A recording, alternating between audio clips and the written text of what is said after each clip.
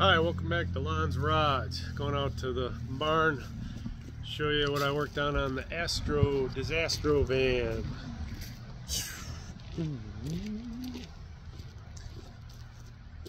So I'll switch this camera around and uh, fill you guys in on the work. So yeah, basically uh, got everything lined up as far as on uh, 350s. Uh, you got two timing marks down uh, there you want one timing mark under the vehicle and one up top on the pointer there. So figured that one out. And then uh, you drop in uh, your distributor which it's right there. And uh, you want the distributor pointing a little bit before the number six and when it drops in it'll rotate and it should be right at the six when it drops in.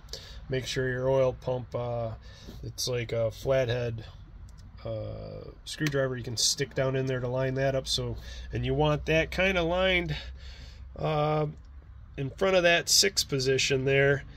That way it'll slide in and then rotate and lock in. A lot of guys got a bunch of different baloney on the internet and that's the way you do it and it drops right in and then it's timed. But the only thing is my starter took a junk so waiting for a new one tomorrow so then I can uh, fire this baby up. But she's ready to fire up. I'm just putzing with uh, the brake lines now.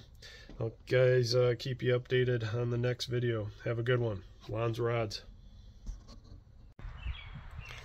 Okay on the 4.3 and the 350 uh, GM engines. You want to make sure the timing mark is on the top and the second timing mark is on the bottom where they're lined up with your timing marks which you can see I marked it there.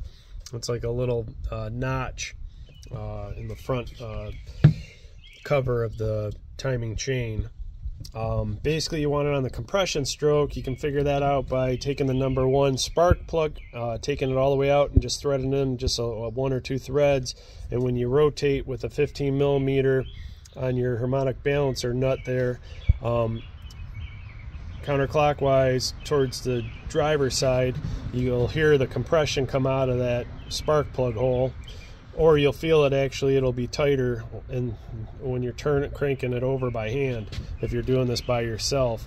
And then you, you do what I said prior in the video as far as dropping in your distributor. You want it um, about an inch or two to the left of the number six uh, marking. And when you drop it in it'll rotate uh, and put you right at the six number six cylinder uh, that's a mark you know if it's a V8 it'll be a 8 but that's a 6 so it's a V6 thanks